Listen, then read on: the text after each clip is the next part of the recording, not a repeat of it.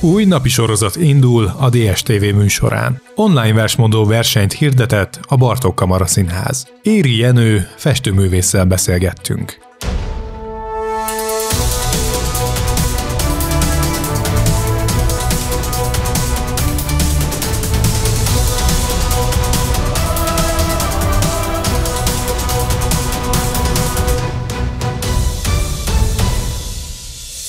Köszöntöm kedves nézőinket! Önök a DSTV híradóját látják. Ma is elhoztuk városunk legfontosabb híreit. Új kezdeményezéssel kereste meg az önkormányzatot Dóci Zsuzsa, gymstick és fitness instruktor. A program célja, hogy megkönnyítsék azoknak a lakóknak a mindennapjait, akiknek életéből már egy ideje eltűnt a rendszeres testmozgás.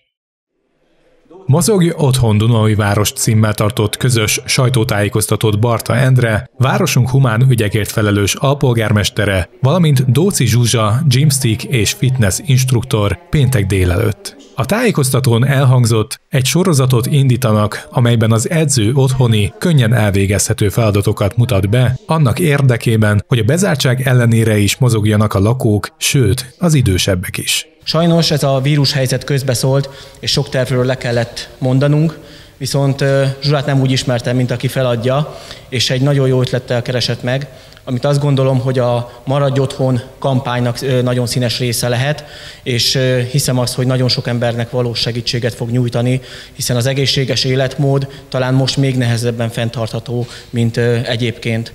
Egy-egy epizód körülbelül 20 perces lesz, a bemelegítés után jönnek az erősítő, átmozgató feladatok, végül pedig a nyújtás, ami az edzés elengedhetetlen része. Kifejezetten ennek a korosztálynak készült, közép és idősebb korosztály, illetve mozgásszegény életmódot folytató réteg. A gyakorlatok nem bonyolultak, nincsenek benne koreográfiák, nincsenek benne szögdelések, ugrálások, kifejezetten egy átmozgató tornára kell gondolni, ami, ami erősíteni fogja az immunrendszert, javítani fogja a kedélyállapotot, erősíti a szívet, az érfalak rugalmasságát erősíteni fogja, a csontritkulást meg lehet vele előzni, elkerülhetjük a betegségeket, illetve ha már valakinek van valamilyen kialakult, akár kronikus, akár akut problémája, akkor az életminőséget lehet ezáltal javítani. A napi sorozat április 20-án hétfőn indul, melyeket a DSTV műsorán, YouTube-on, illetve a közösségi oldalakon is követhetnek majd a mozogni vágyók. Április 16-ától módosultak a 29-es és 40-es jelzésű autóbuszjáratok menetrendjei. A helyi járatok már március 24-e óta a nyári menetrend szerint járnak, a 13-as vonal járatai, valamint a 18, 29, 35 és 40-es vonalon vásári napokon indított járatok közlekedése pedig szünetel. Jegyeket a helyi és a helyközi járatokra is mobil alkalmazás segítségével lehet vásárolni. A tranzakciót semmilyen pluszköltség nem terheli, vagyis az elektronikus jegyek ára megegyezik a hagyományos papíralapú jegyekével. Természetesen a jegy és bérletárusító helyeken továbbra is megvásárolhatók a papír alapú jegyek és bérletek. A Bartók Kamara Színház a Költészet Napja alkalmából online versmondó versenyt hirdetett. A legjobbak színházbérletet nyertek, melyet a következő évadban az intézmény újranyitása után válthatnak be. Online szavaló versennyel ünnepelte a költészet napját a Bartók Kamara Színház és Művészetek Háza. A Violin alapfokú művészeti iskola közreműködésével rendezett megmérettetésre négy korcsoportban nevezhettek a résztvevők. A szervezők 7-9 évesek, 10-12 évesek, 13-15 évesek és 16-22 évesek számára rendezték a megmérettetést, vagyis az általános iskola alsó tagozatától egészen a nappali tagozatos egyetemi főiskola hallgató korosztályáig mindenkire számítottak.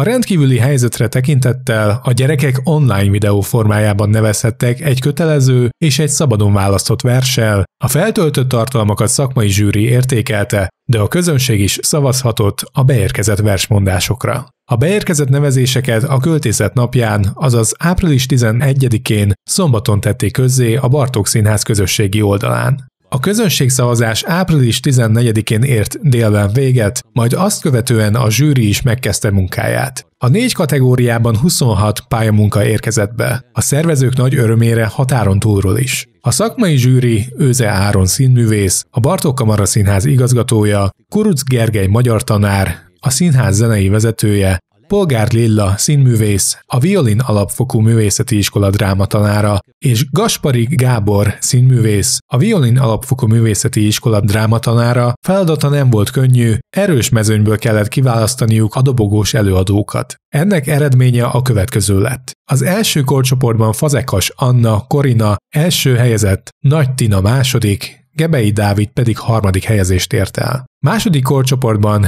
első Ladányi Viola, második Gebei Gellért, harmadik Gózon Zoe. Harmadik korcsoportban első Jakab Sandra Mira, második Nanó Nimrod, harmadik Szabó Noel. Negyedik korcsoportban első Szopka Gréta Témea, második Makai Anita, harmadik Vastag Viktor. A közösségi térben a közönség is leadhatta a szavazatait, ennek eredménye a következőképpen alakult. Az első korcsoportban Kocsis Ádám, a második korcsoportban Gebei Gellért, a harmadik korcsoportban Májer Virág Csenge, és a negyedik korcsoportban Pinkász Edit nyertek.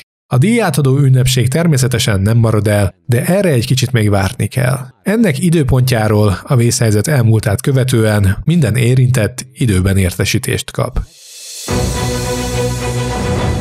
Éri Jenő hat éves koráig Zalaegerszegen élt, majd onnan érkezett a születő városba. Később tanulmányai ismét elszólították innen, ám azután végérvényesen visszaköltözött szeretett városába.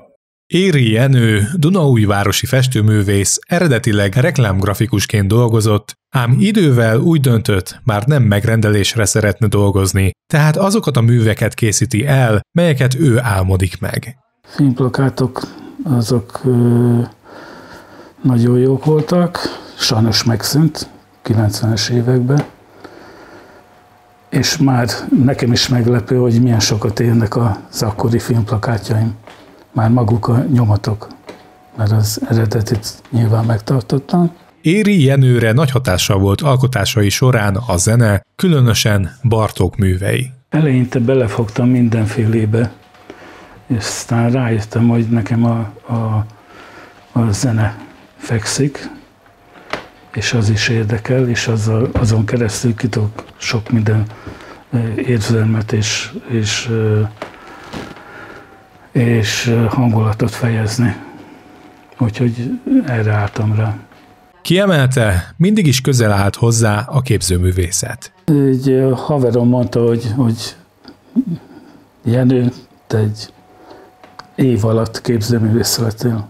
Tulajdonképpen mindig szerettem volna festeni, a volt tanárom, aki most nemrég halt meg, azt mondta, hogy én jó plakát grafikus leszek, de valahogy mindig szerettem volna képzőművészettel foglalkozni. Éri Jenőnek több terve van még, többek között ilyen a folyamatosan alakulóban lévő brigád napló is, melyet már hosszú ideje formáz, alakít a festő. Teljesen készen a remek mű valószínűleg sosem lesz, hiszen mindig alakít, módosít rajta a művész.